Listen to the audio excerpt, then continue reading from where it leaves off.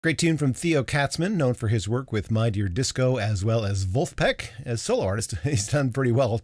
Theo Katzman's Good to Be Alone on Acoustic Alternatives. That's an acoustic take of that. I watch him and I see Anthony DaCosta play, and I think gosh, they kind of play similarly in guitar style. Anthony DaCosta's song called Waltz was heard back there. He's playing as a sideman with May Erlewine. Had a couple of shows in Michigan this weekend. Bell's Eccentric Cafe on Saturday, October 22nd, and the Kerrytown Concert House, way too small for the two of them to be playing.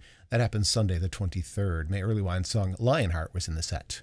Two from Chuck Brodsky in the sets, one from his newest album, one from his most recent before that album, Warsaw in May, and It Takes Two Wings, the piano version that's coming from his latest release. The Greenwood Coffee House now has an external location out in Grass Lake. Normally it's a place in Ann Arbor at a church, but uh, due to some circumstances, the proprietor who's been booking the shows for years has had to move it uh, for most shows out to her place in Grass Lake. Chuck is going to be one of those guests there, and he's also going to be a guest on the upcoming podcast that you will hear in a week or two. I'm going to be visiting with him next Saturday.